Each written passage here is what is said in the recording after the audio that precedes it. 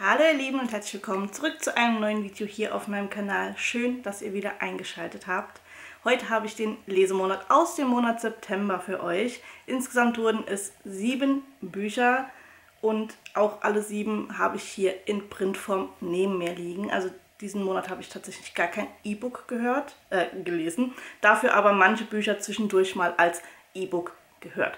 So, ich habe diesen Monat sogar eigentlich drei Buddy Reads davon gehabt, wobei wir im Endeffekt doch nur zwei als Buddy Read gelesen haben und das dritte irgendwie dann jeder doch wieder für sich gelesen hat. Aber das erkläre ich euch, wenn ich euch die Bücher zeige, was ich damit meine.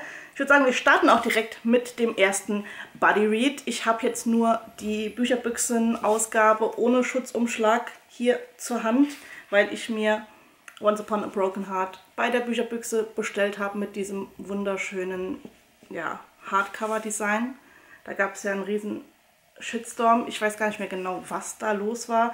Ich habe nur im Endeffekt ähm, im Nachgang mitbekommen, als ich es irgendwann mal auf Instagram gezeigt habe, dass es da wohl eine riesen Diskussion zum Farbschnitt gab. Also wenn da jemand nochmal weiß, was da los war, kann das gerne mal in die Kommentare hacken.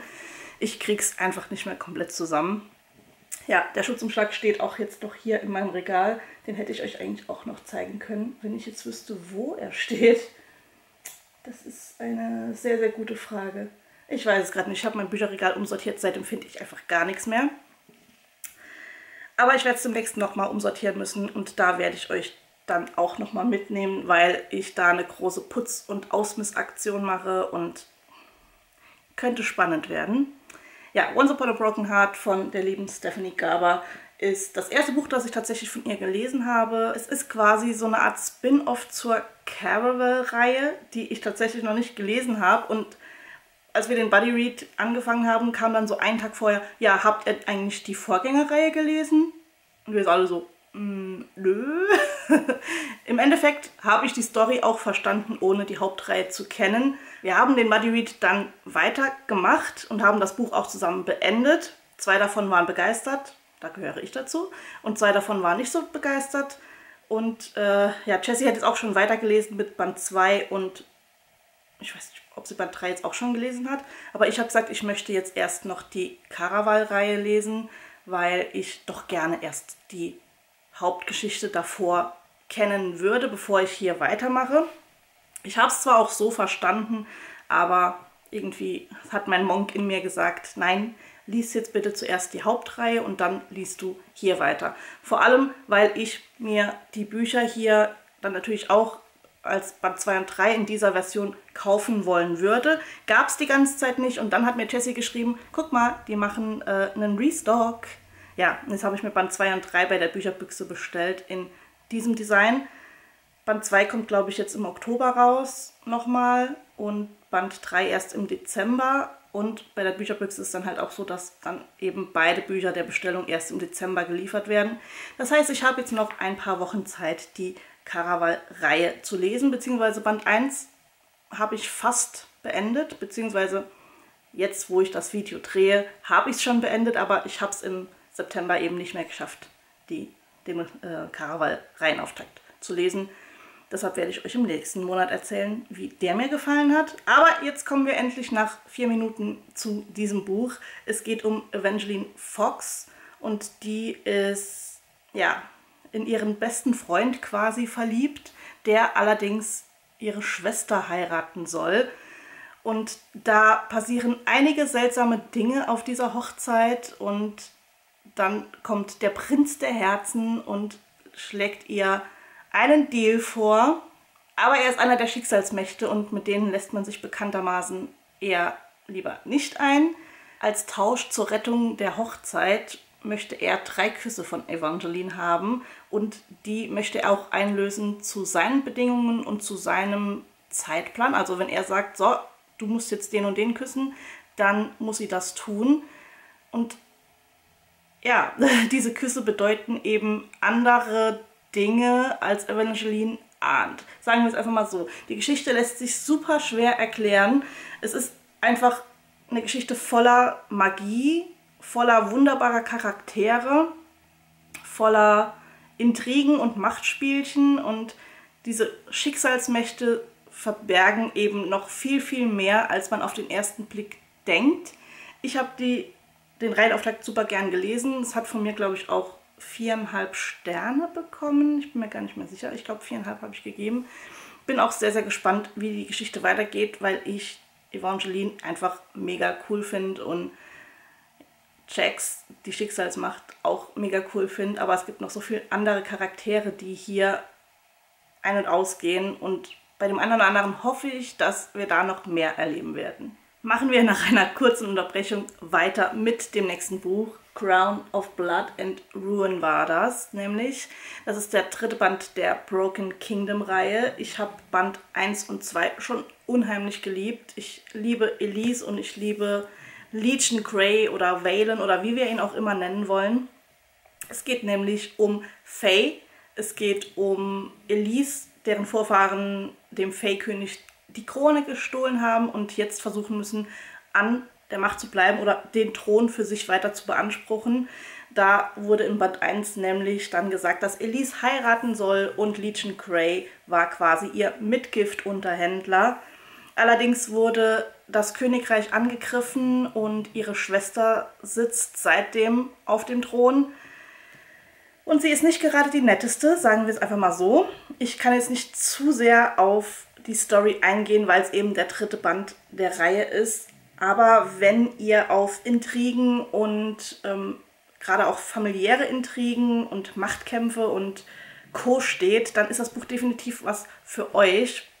Ich finde auch, dass die Autorin es sehr, sehr gut geschafft hat, den Charakteren eine große Entwicklung zu bescheren. Also wenn man Elise von Band 1 betrachtet und dann sieht man eben dieses Mädchen, das, ich sag mal, unbekümmert durchs Leben geht, lieber ja, ihr eigenes Ding macht, anstatt nach den königlichen Regeln zu spielen.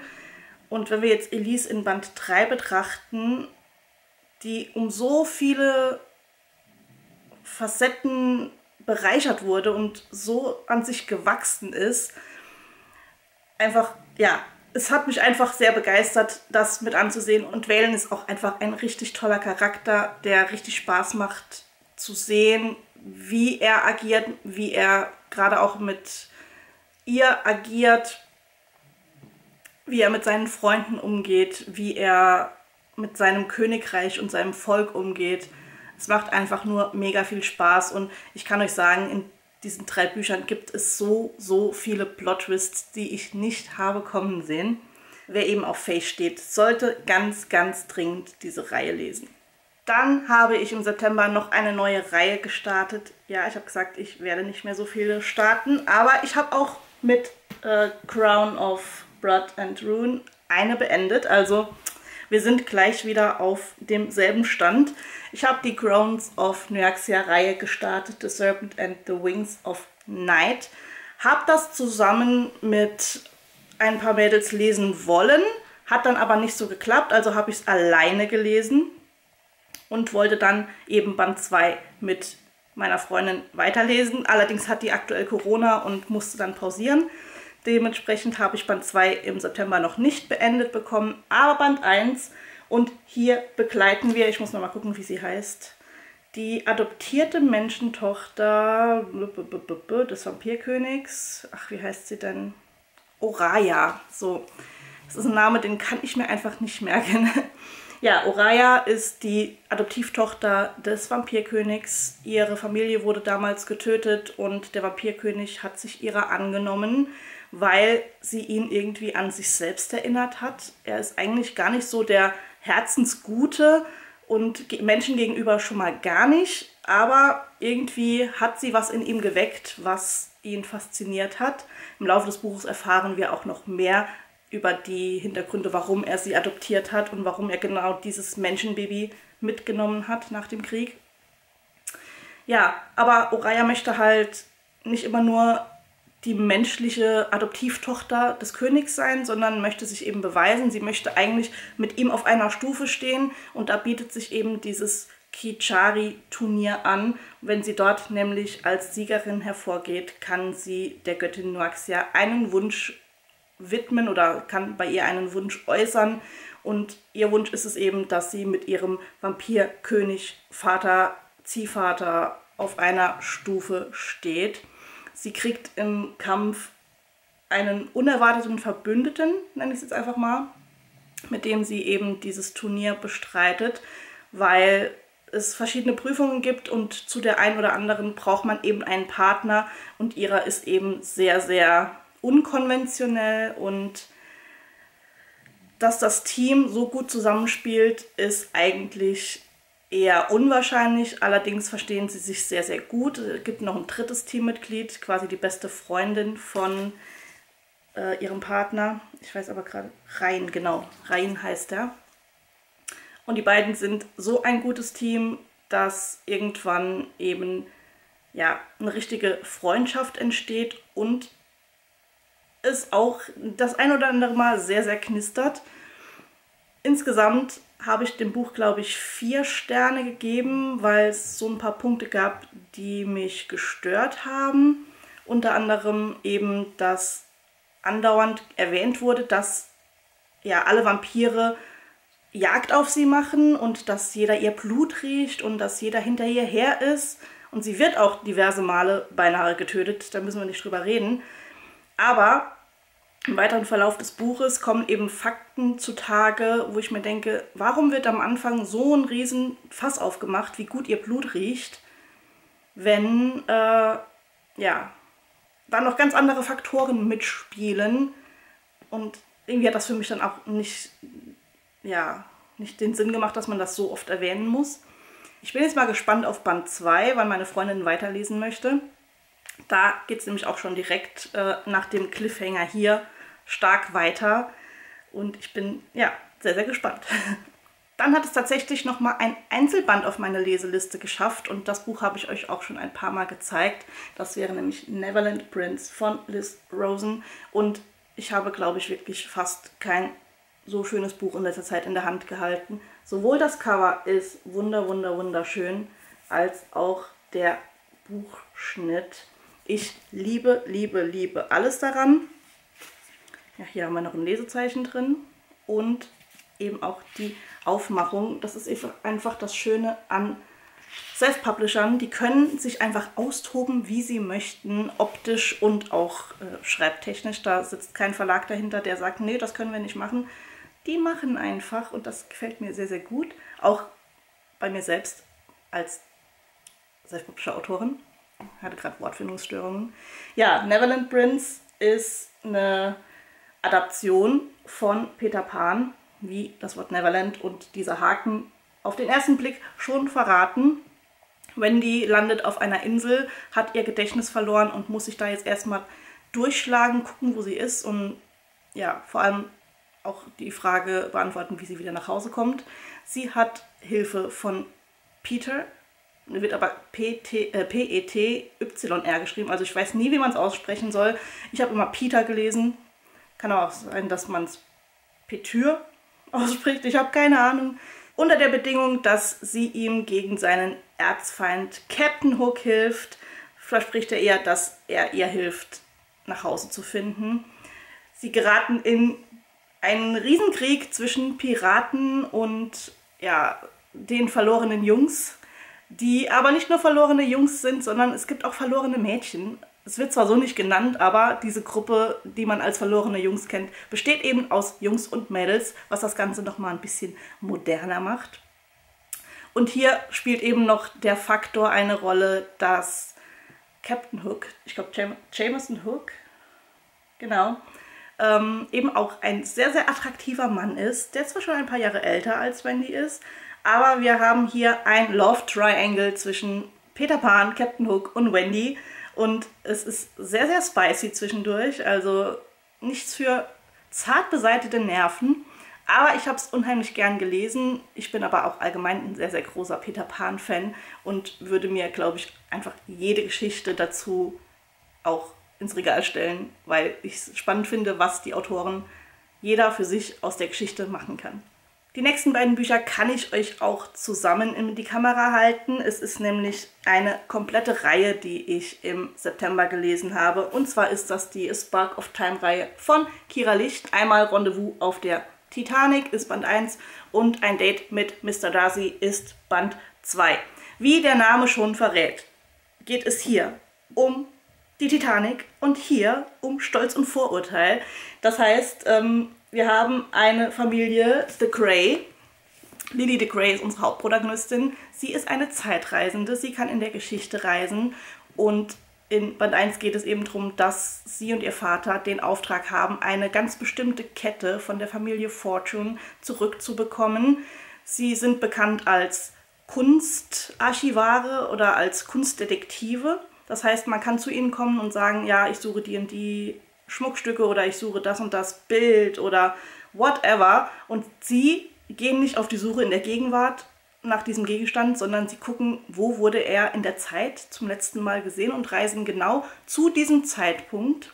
Und dann haben wir noch, ich würde sagen Ray, aber so heißt er eigentlich nicht. Er heißt nämlich Damien, so ja genau, Damien Belmont. Seine Familie ist auch eine Zeitreisefamilie und sein Vater ist ein bisschen, ja, obsessed mit diesen Zahnrädern, mit denen sie durch die Zeit reisen und möchte alle an sich bringen.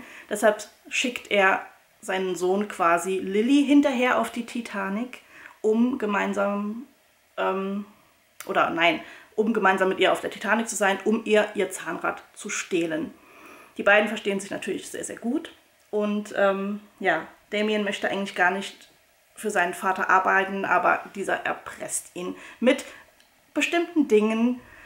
Und es ist einfach so, so cool, wie Kira diese ganzen tatsächlichen Fakten von der Titanic, sei es jetzt Thomas Andrews oder die unsinkbare Molly, einfach in diese Geschichte mit einbaut. Ich hatte konstant Gänsehaut, als ich es gelesen habe und hatte mir eigentlich auch gewünscht, dass es in Band 2 vielleicht mit dem ganzen Setting weitergeht. Aber nein, die beiden kommen zurück aus der Vergangenheit und müssen zusammen diesmal wirklich geplant zusammen einen Auftrag vollführen. Und zwar geht es da ins alte England und wir lernen Jane Austen und ihre Familie kennen. Das heißt, ja, hier geht es sehr, sehr viel um die Familie Austen, die vielleicht auch eine Zeitreisefamilie ist oder auch nicht. Wir werden es erfahren, wenn wir das Buch lesen.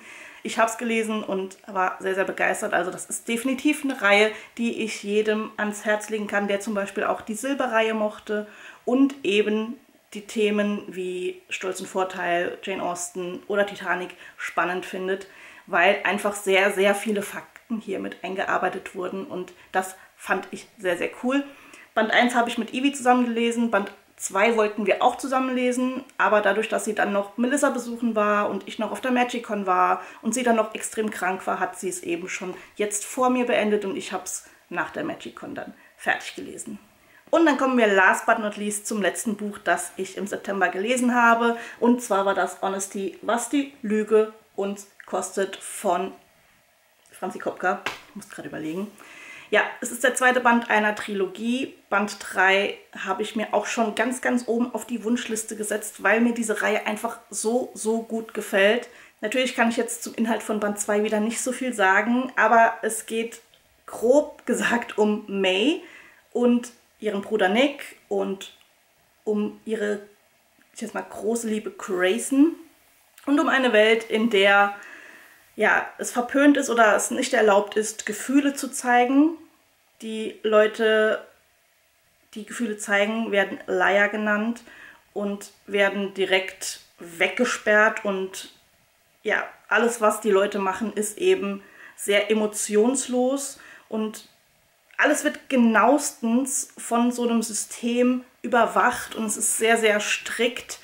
Nick als Bruder weiß natürlich, dass May Gefühle zeigen kann. Er gibt ihr auch immer so Tabletten und ihr Vater auch, die sie quasi so ein bisschen in Watte packen. Allerdings, ja, nach ein paar Geschehnissen in Band 1 und 2 wirken die nicht mehr so gut und es gibt auch eine große Rebellion und eine Untergrundgesellschaft, wie das eben in Dialogien so ist. Ich könnte da jetzt ganz, ganz weit ausholen, das wird allerdings etwas spoilern und deshalb möchte ich da jetzt nicht so genau drauf eingehen. Ich kann nur sagen, wer auf Dystopien steht, der sollte sich unbedingt die Bücher von Franzi anschauen. Sowohl die Honesty-Reihe als auch die Game Show-Reihe. Also was diese Frau da in die Tasten gehauen hat und zu Papier gebracht hat, ist einfach mega. Ich bin ja seit Die Bestimmung und Co. ein riesen Fan von Dystopien.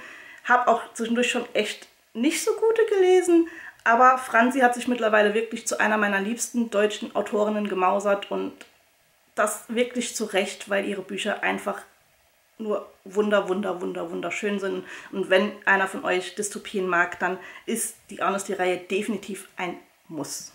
Ihr Lieben, das waren schon wieder alle Bücher, die ich im September gelesen habe. Sieben an der Zahl waren es. Ich werde sie euch wie immer in die Infobox packen. Da gibt es den Link zu Amazon und zu Thalia.